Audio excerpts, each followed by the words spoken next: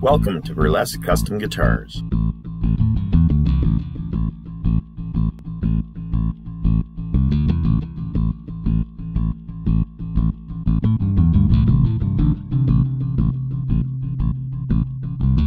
Guitars have been my passion for my entire life.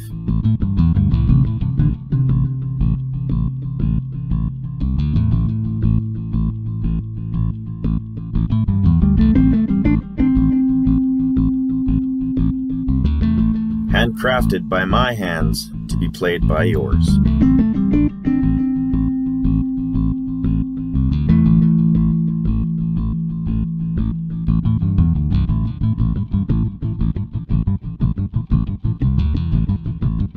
Each one I create is like no other.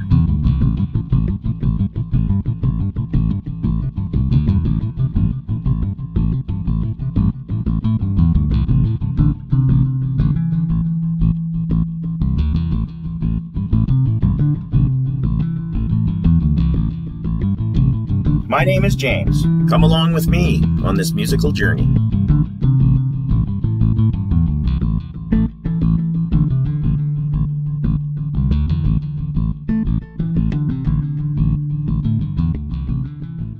So let's start off with electric guitars. Here we have a Stratocaster 2006. Um, it's got a few modifications I've done to it, but nothing that would make it not a standard guitar or the points that I'm going to give you to check it over. Um, so again, everything I've said applies to this as far as fretwear, um, neck, back bowing, etc., the nut, all of that stuff. But some of the things I find and a lot of people don't understand is how to check the pickups. So what I'm going to do is show you how to test each pickup individually and make sure your electronics are working okay. And I'm going to do that on all these guitars with the different switches. But this is just a quick way for you to be able to do it while you're sitting there or checking it out. Now hopefully you can plug this in when you're going to check it out. And one thing I want to tell you too, don't be afraid to take one of these with you. If somebody's selling something like a Gibson Les Paul or something like that, take the back plate cover off, check out the pots, make sure they're stamped Gibson or make sure it's got the PC board in there because unfortunately there are a lot of forgeries on the market and unfortunately there's people that will try to sell guitars that are not really what they are. Uh, so don't be afraid to take one of these. It shows you know what you're looking for and it shows that you know about guitars. So this also will help you check out the pickups and I'm going to show you how to do that. This is one of the coolest things you can do and, and it's a good little trick and it's a good way for you to also check stuff of your own at home. Uh, I just call it the tap test and, and you may not know about this but anything that's metal will work and it'll tell you if your switch is working and it'll tell you if your pickups are individually working. Also a lot of people don't know how this works so I'm going to explain it as well, the five-way switch, what it's supposed to do. So in this position, this is the humbucker or the bridge position. And we've got two uh, sets of taps we want to check here. We want to check here and we want to check here. Now this pickup is uh, a bluesbucker pickup. So it's got, this is actually a slug coil, so it's not normally as loud as the other one. So if you've got a regular humbucker in here, it should be as loud as this one. This is a slug, so you're going to get a lighter sound, but it should be as loud on a regular humbucker See, it's, a, it's not as it's loud. It should be this loud on both sides. Okay? Now, if you go into position four, which is this way, you want, this is going to be, both of these pickups are going to be on. A lot of people don't understand what happens, but when you go with two pickups, the weaker pickup is going to be the dominant pickup. I know you, it's hard to believe, but it's Ohm's law. Technically, the weaker signal is going to be the more dominant it's, it's, it's kind of going to maybe throw you off a little bit, but always think if this is a higher output pickup and then this, this one's going to give you the most tone. This pickup's still going to work, but this is going to be the most uh, in, influential on the sound. So, again, we're in position four, should be these two pickups. So I'm going to tap test. That's on. Pardon me. That's on. So I know that's working. Okay? And if you want to be smart about it, you want to come up here too. Give this one a check because there's been a lot of times where guys have brought me guitars And I've swept through here, and all of their pickups are on the whole time, and they can't tell. So, we're in position four. Do yourself a favor, go boom, boom, boom, boom. You shouldn't hear anything on this pickup. Now we're going to the middle position, okay? So that means it's just this guy. Again, if you want to check, make sure the wiring's correct. Now, notice you can slightly hear that. That doesn't mean the pickup's on. It's just because it's in the vicinity. That's how strong the magnetic field technically is. Uh, but this pickup is not on. But now, listen to how loud this pickup is. Let's go back to position four. Sorry. This one's real. It is louder. But again, let's go back up here. Nothing. In the middle position should be just this. Not here. And not here. Now we're going to go to position two, which means both of these are on. Uh, in this case, on most strats, depending upon the strat, you will lose the hum noise. Depends on the pickups though. If it's a if it's an older style or a reissue, the the middle pickup isn't going to be reverse wound, so you're not going to get the hum canceling feature. Uh, if you notice that it's humming in this position, it's probably because this pickup isn't reverse wound. So I know they're working. Okay. Let's do another. Let's just make sure we're not getting anything there. We got it there. We got it there. Now this should be just the front pickup. See? Within vicinity so you can hear me tapping. Isn't that crazy? But that's what that's on. So you know that's on. So you know that's working properly and you're working through. I'm not going to get into the SRS switching with you because it's you would literally have to have the manual on there. Most strats don't have it. If it does, ask the person you're selling it or buying it from, pardon me, if they have the manual so you can test it. Um, and I don't want to bore you with that because it's it's not in regards to all strats. It's like one out of a hundred you're going to find has SRS switching. So now we're going to check for tone. Okay, uh, in most cases you will find that the tone controls on most strats. This will be your neck, and this will be your middle. The bridge sometimes does not have a tone control, which I think is a shame. So I usually wire my tone controls so that this is here and it works for these two and this is for this. So in my case, my tone control is going to work on this and on this. Okay? Sorry. So in the middle position, now when I go to the front, so I know that's working properly. And in these two positions, this will work and this will work for both pickups you'll find, which is kind of cool. Um, however, if you if you find that you know it's not on the bridge, don't take that in. You don't you know don't think that your wiring's messed up because most standard Stratocasters, this tone is for the neck and this tone is for the, the middle. You can rewire it, so don't think you can't. It's just a matter of taking it into your tech and, and getting him to look at it and switch some stuff around. Okay, um, next thing we want to check is your input jack. Usually that's just give it a good wiggle and if you hear any noises, crackles, or pops, you know you got an input jack that's kind of screwed up. That technically is how you can check over any strat for electronics. Um, again, fret wear and stuff, I'm going to put some pictures up for you to look at so you can refer to what normal fret wear look what normal frets look like and what frets that are kind of beat up look like. Come on over here and I'll show you these frets are kind of nice and clean. They may have a pit here or two in there. Like there's one right there. Sorry, I'll get my finger out of the way. See it right there? So, see how that string's hiding it? It's not bad. Like, I mean, that's not terrible. But if you if you look underneath and this whole area is pitted in all these comfort zones, that means you're going to need to get a fret dress done. So point that out to the seller. That's my advice anyway.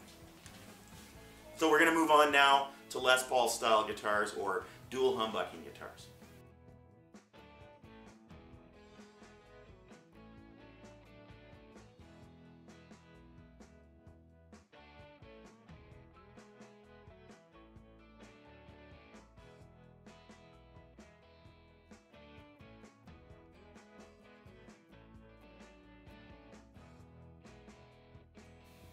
So here we have an example of a Les Paul style guitar, which means it's got two humbuckers in it and a three-way switch.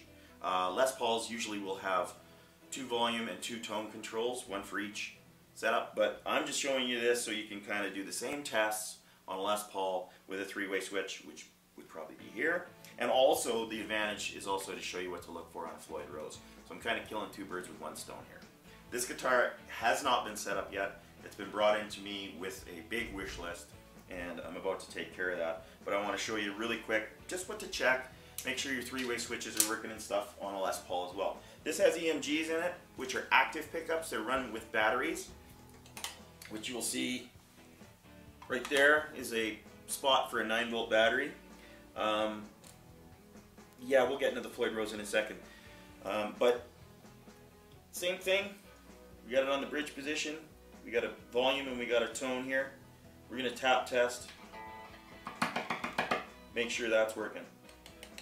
That should not be on, which is, that means it's good. You can test your tone as well.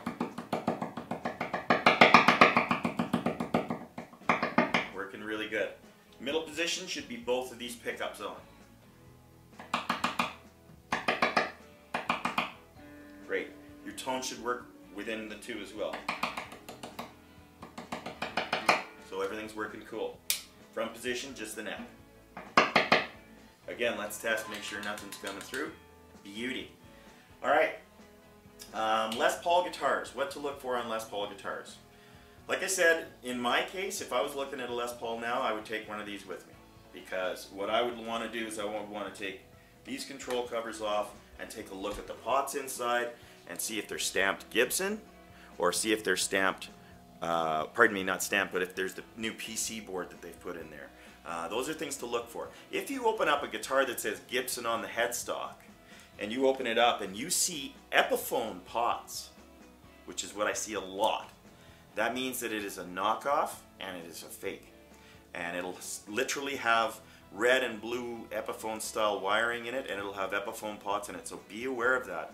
If somebody tries to tell you that they were stock and that's how it came, that's not true. That means that that guitar is offshore and it's fraudulent. It may have a proper serial number, may be stamped on the back and said made, made in the USA, but if it's got Epiphone pots and an Epiphone wiring harness in there, I've seen hundreds of them like that and they're not real. Another way to check for fakes is check the binding out on them. Look around, and this is, I'm sorry, like I wish I had a Les Paul to show you, but you know, check the binding on the neck, make sure it's all nice and straight check in places like here and then all the curves on a Les Paul. If you see any kind of binding that's mismatched or it's got paint on it or anything like that, there's no way they'd let that out of the Gibson factory. So those are things that'll be a dead giveaway. Um, is binding, um, again, electronics. So please take a screwdriver with you. And if the person that's selling it to you says, no, no, no, don't touch it, walk away. Um, you're going to see uh, fret wear as well, Les Pauls. Very flat radius necks. Check to make sure it's not backbowed. Check the nut to make sure that they haven't messed around with it and you're not getting fret buzz. Again, do all the same tests that we're doing with the acoustics and the electrics on your same guitar because it's all relevant whether it's an acoustic or electric. This applies to everyone. Um, and these are things to look for. A lot of Les Pauls have ebony fretboards on them. This has an ebony fretboard on it, which very luckily does not have any cracks in it. And there are things that you don't see when you're buying a guitar because sometimes the strings will hide them. That's another thing you want to look for. Ebony, if it dries out, will crack literally right underneath the truss rod because the truss rod is pushing up against the fretboard and you'll get a slot. You can fix that. It's not a huge deal, but again, things to look for. Um, things to look for on the side binding as well. If you see cracks and such beside the binding. That means that this neck is shrunk and that binding has cracked. Um, again, just upkeep and maintenance of the neck. Fretboards need to be treated constantly, especially here in Calgary. This can apply wherever you live. If you don't treat your fretboard, you're not doing yourself any favors. Whether it's rosewood, ebony, pau ferro, you know, granadillo, whatever. Treat them, take care of them, and they'll take care of you. And you won't have as many problems with frets either because it works in hand in hand. If you, if you have a dried out fretboard, what's going to happen is you're going to have loose frets. And that's you know there's there's many many things I could get into about that, and it's very difficult to know. Uh, the only way to really know if you got loose frets is to literally put the guitar on the bench, bevel the edges, and do some work on it. But these are things that you want to ask. Do they treat their fretboard? Um, you know, if they've got service records, see if you can see them. Maybe you know most most reputable places will give you a proper invoice and show you the work. I've had tons of customers bring me guitars, and inside the case is all of the history of their their guitar work, just like a car. So take advantage of that and ask those questions as well to the person that's selling the guitar. Do you have any service records of the guitar? It's a really good thing to see how well the guitar has been taken care of. So I want to talk about Floyd Roses really quick and things to look for on a Floyd Rose. The first thing I always look for is to see if there's any missing parts or anything is different or out of whack. Um, a lot of guys will replace the uh, lock nuts inside, or pardon me, the lock blocks inside, and they can replace them with the incorrect ones. So if you see anything that looks different in here, or you see some guys will jam a little piece of paper in there or something, um, just so it'll hold the string properly. There's a sign there that the, that the Floyds had some work done to it. Uh, Floyds are usually pull back and dive bombs kind of thing as well, so you know you can check for motion and see it's doing the thing. Um, again, I always like to check to make sure that these haven't been stripped out, your little fine tuners. Take them to the top and they should stop. They should not come all the way out. So if they do come all the way out, you got to ask yourself what's going on here. Somebody's either forced that thing out or it's stripped. So that's things to look for. Okay. Um, again, we've got these hold your little posts in. Make sure that these are working. I always like to just give them a little push. Make sure everything's moving properly because sometimes someone will, some some people will, will replace them and they'll be stuck in here. I've seen people put a, lar a larger uh, post in there and it'll literally get stuck. So if you go to tune it, it's not going to move at all. So little things to look out for on a Floyd Rose. Flip it over and you will see that this at one point had a trem stop in it. Um, it's also missing the lockdown plate for the uh, springs. So there's another thing I would ask, where's the lockdown plate for this? Um, again, look for you know good springs in it. Make sure it's got the right spring claw. Um, if it's like this, personally, I would say, hey, have you got the original parts and the original spring claw so I can put that back in? Um, because without the trem stop, this is kind of a, a weird setup. Uh, could be a little bit off balance. Um, and again, the uh, arm and the uh, socket that the arm goes into, I don't have the part for this one, sorry, but just make sure that this is tight and it's not moving around. And look in the back and you'll see there's a little Allen key that locks everything down there. Just make sure everything's in there. Because sometimes you'll find some people will mishmash stuff and you know put different uh, nuts and bolts where they should be. And you, and you don't want to have to go through the hassle of having to get that fixed. So just things to look for. Also make sure that the posts are set in nicely. And that's usually when you pull back, you can actually, what I like to do, I'll grab each side and literally lift. Because sometimes these will slide out. It happens a lot. Be, you'd be surprised. And that's usually from guys doing pullbacks and getting rough with it, having, you know, too much fun, as they say. So just check for that, and uh, you should be cool. Floyd Roses, or you know, designed by Floyd's, are pretty, pretty standard. They're all pretty much the same. Uh, it's all based on quality of components and hardware, of course, as we know. That's how the guitar world is. But they all should work similarly, and if it's set up properly and locked down properly, you shouldn't have any problems. Just, like I said, little things to look for.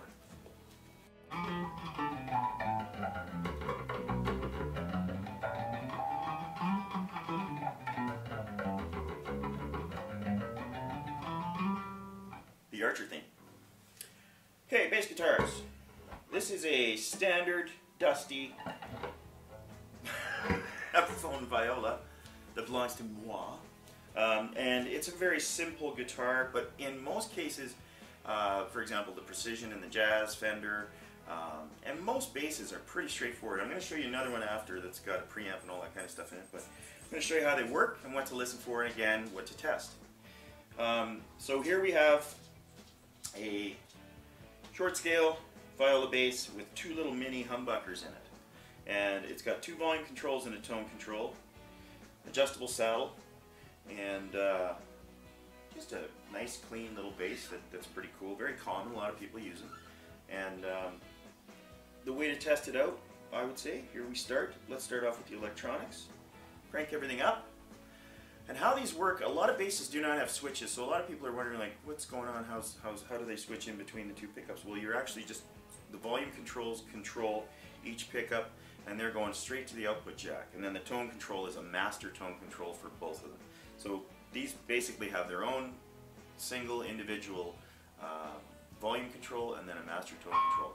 On, on uh, Fender precision basses and jazz basses, they have, uh, some have a the, two, the split single and then they'll have the two single coils. Um, when both volumes are turned up, you'll notice that the, the hum goes away. That's because the single coils are now becoming one and becoming a hum canceling, humbucking pickup, so to speak. But this has mini humbuckers in it, so you'll notice there's no hum, right? No 60 cycle hum. So I'm going to just test, I believe this is the bridge pickup, and I'm going to use my trusty little screwdriver that I didn't forget to bring with me on my guitar buying mission. And I know that's working. And we'll test the tone as well.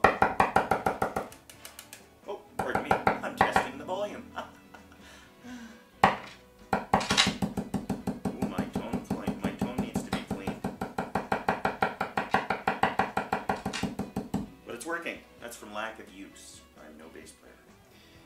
Now let's turn that off. And let's go to the back pickup. This, this applies to any pick a guitar that's set up the same way. Uh, jazz would be set up this way, so you can do the same tests. If it's just got a single volume control, same thing, just do the tap test, make sure the tone control's working.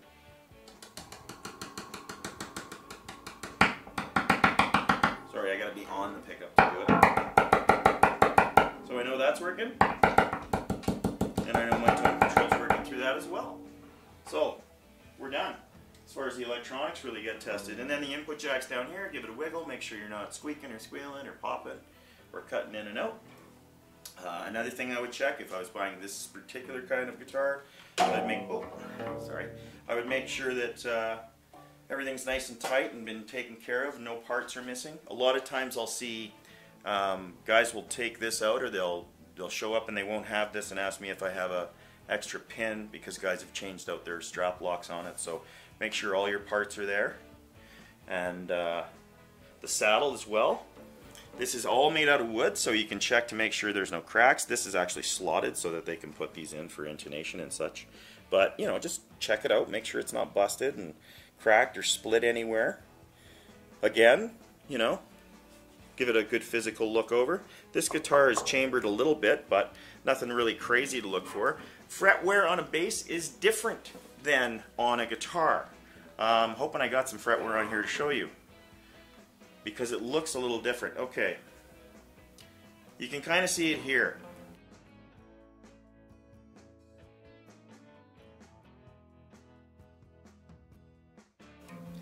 It's very, very minimal, but you can see where the strings hit the frets. On a bass guitar, they flatten out. And in, in some cases, you'll see lines starting to develop, which are literally the grooves of the guitar string. You'll see little lines. And because the string's vibrating, right, on a, on a bass more, and more fret contact, uh, per se, with the vibration. So you'll see little grooves side to side. And we'll put some pictures up of that as well, so you can see what I'm talking about. If you see a lot of that, that means the frets are going to need to be done. So I'm going to give you some examples of pictures of what I would consider guitar frets that need to be done. Another thing I haven't really really come or talked about either is fret height. I personally, um, I always like to check out the fret height, make sure there's a lot of meat there, and make sure and and you know questions. You got to ask these questions. If the fret's been dressed, how many times have the frets been dressed? Because on most guitars you can get about five to six fret dresses out of a set of frets, and then you got to do a refret. So keep that into consideration. If Buddy says that I've dressed him four times, then you got to go, okay, well, I'm get, these must be getting pretty low, or whatever. And the guitar may feel great, etc., etc. Must be playing like a dream, right? Because they got such low frets, but you got to keep in consideration that you're going to probably have to do a refret or buy another neck, because the costs of doing either is, are not too far off. So Anyway, um, look for the sizzle lines. I like to call them. They're, that's it's not pitting. They're called sizzle lines from now on. So use that term. Are there sizzle lines on your bass? Here we have a five string bass with a preamp built in and I'm going to go over it really quick. So everything applies to this bass that literally applied to that. It's the same kind of setup. Um, I actually marked these for the client so he could figure out what was going on because he was a little bit confused. Uh, this is a master, this is a bass and treble control, and this is a balance for in between the two pickups. Now this guitar I also have put in a kill switch for him so that when he goes live he can turn it on and off. And he plays live a lot so he can just flick the switch and he's got no tone. So you got a master switch here. Now, this is the balance between the two. So this is kind of like a volume control as well. So it's a volume control for in between the two. So if I put it all the way front, it just should be this pickup. We can test that again. Oh, pardon me. Other way around, sorry. Um, all the way forward should be this way. Now if I go to the middle, it should be both. If I go to the back, it should be just this. So it's working. Okay? Center, balanced. Now, if these are noise, no, pardon me, if these are regular single coils, you're to have hum, like that 60 cycle hum you would get on a Strat or what have you. If you were just on the single coils in center position, you would not. But because these are noise canceling and also on a preamp, they're a little bit different. Uh, we have a bass control. So it just gives you more bottom end, which sound like they need to be cleaned again and then we have a treble. Some will have bass, mid, and treble, so you might see the same kind of configuration with three. So that's things to look for, make sure they're working.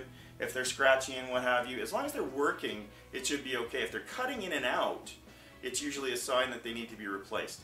But if they're just scratchy, that just means they need a good cleaning. Again, fretware you want to look for on these guys. Here we have an ebony fretboard. So let's look for cracking and stuff. And we always want to look in the center of the fretboard to see if there's cracking because that's where the truss rod is. And that's what's usually pressing right up against the fretboard and going to make it crack. But not Jim's bass because he brings it to Burlesk guitars and gets it taken care of all the time. anyway, I hope this helped. I really do. Um, if I have missed anything or if there was anything you wanted to talk about, like, you know, your guitar or some problems, just send me a text or a message on the, on the page. Please don't forget to support local and hand-built guitars all over the world. And thank you so much for watching. Don't forget to hit like and subscribe too. It really means a lot to us. The more subscribers we get, you know, the better it is and the more questions and stuff we'll be able to answer. So, hope you enjoyed it. Again, if you have any questions, send them on the way. And again, from Burlesk Guitars, thank you so much.